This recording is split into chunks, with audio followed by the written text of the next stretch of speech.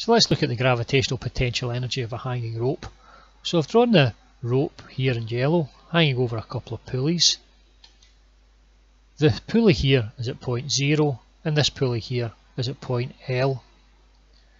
And we've said that the rope hangs in a particular arc such that it minimises the gravitational potential energy. And we know the gravitational potential energy is given by mgh. But we need to define an equation which defines the gravitational potential energy of this hanging rope. Now we're going to do use calculus in order to do that. So what we're going to do is we're going to split the rope into uh, infinitesimal little sections. So in effect what we do is we linearize the problem. We imagine the rope is built in up of an infinite number of tiny straight lines. So how are we going to do that? So if we were to imagine we took some small segment of rope there in pink, then what we could do is we could pretend that the rope instead of being curved at that point there is actually straight. Now obviously if we were to take this length here, which is the, height, and this length here, so that's the y-axis and that's the x-axis, then we could use Pythagoras theorem and we could say that this y squared plus x squared would be equal to this distance here. So let's say that distance is called s, so that would be s squared. Now, if we were to look at this in terms of infinitesimals, if we were to allow this distance here to tend towards this length here of this arc to tend towards uh, a, an extremely small value, I mean an infinitesimal value, then as the limit as this length here tends towards 0, the arc will tend towards a straight line. So in effect, in the limit, the arc will become a straight line. Now that's similar to saying something along the lines of, if we had a number, say 0.99. We know that that is uh, 0.01 away from 1. But if we were to look at the number 0.99999, then it's much closer to 1, but it's not quite equal to it. But if we were to say 0.99 and all the 9's head off towards infinity, then the number that we would get would be 1. So 0.99 with off heading off to infinity is the same as the number 1. So in essence that's what we're doing here. We're saying that if we were to look at this in finer finer detail, in fact if we were to head off into an infinite detail in this, then we could say that the arc here would actually become a straight line. So that's in effect what we're doing whenever we're doing the differential calculus. We're splitting this rope into an infinite number of infinitesimally small segments and those infinitesimally small segments and the limit will become little straight lines. So we're kind of linearizing this system. So let's go ahead now and we'll do this Pythagoras theorem but we'll do it with the infinitesimal values and we'll see that on the next slide. So let's imagine that the rope that we had was weighed 100 kilograms. So we took the entire length of the rope and we weighed it and it was 100 kilograms. Let's say we, we measured the entire length of the rope and the length of the rope was 10 meters. So we could say that small m here would equal the large M upon L. So what we're saying is the if we were to measure the mass of the rope and it would be 100 kilograms and divide it by the length of rope which is 10 meters then this rope would weigh, weigh 10 kilograms for every meter. So that small m is the 10 kilograms per meter. So the small m, m is the mass per unit length. So let's say for example we were looking to find out the mass of a rope which is length 0.1 meters. Then in order to find that we take the 0.1 meters and multiply it by the mass per unit length. So the mass per unit length times the, the, the length will just give us the final mass. So that will be 100 upon 10, which is 10, times 0.1, which would be 1 kilogram. So a 0.1 meter length rope would weigh 1 kilogram. So granted that would be a, a rather heavy rope. But if we were to then write this out, we could say the mass of the rope is going to equal the mass per unit length times the length of the rope. Now we could do that in terms of the infinitesimal distances. So what we have here is the Pythagoras triangle. Again, this length here represents a small segment of the rope. And because we've got infinitesimal distances here, the curve for the rope will tend in the limit towards a straight line.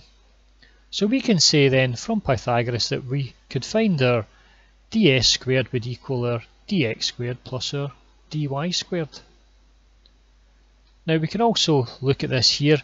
Instead of the m, we could put in a small element of our rope, dm. Instead of the s here, which is this distance, we could put in a small distance, an infinitesimal distance, ds.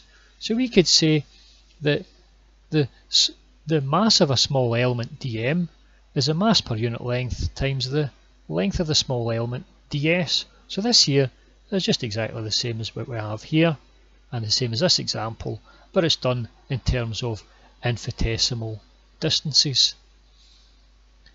So we can take this here and we can use this in order to find the potential energy of the hanging rope. So what we could do is we could say that this value here ds and we want to relate this value ds back to our dx and our dy so we can say our ds squared is equal to dx squared plus dy squared now we want to relate everything back to dx and dy because our final function that we want to uh, work out for the hanging rope is going to be the form y equals some function of x so we have to get it back in terms of this length and this length so we could say that our ds squared equals dx squared plus dy squared. Now we can divide this throughout by dx squared.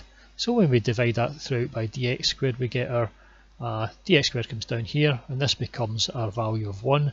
That becomes dy squared upon dx squared. Now we could have done it around the other way. You could have divided throughout by dy squared if you want, and you could go ahead and try that yourself and see where you, you, you go with it. So we can see here, we've got this equation here, so what we can do is we can take the square root of uh, both sides. So we just have our ds by dx is equal to the square root of 1 plus uh, dy squared by dx squared.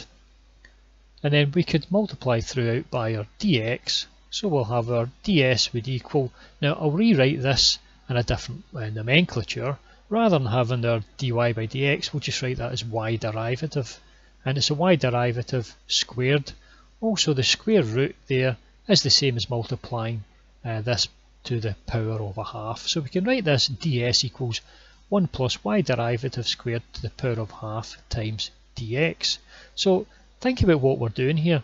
We're saying that this ds here, which is this infinitesimal distance, and we're relating this infinitesimal distance to our values here our dx and dy, and we've got this equation here, and it's related to via the derivative of the function, that's y derivative squared. So take your time and think about that and think about what it's telling you. So now what we can do is we've got our value for our ds here, which is this here. So we just put this back into that equation. So we're just going to end up with our dm, which is our small element of mass, will be our mass per unit length times the 1 plus y derivative squared to the power of half times dx. So that tells us the mass of one small infinitesimal element of that rope.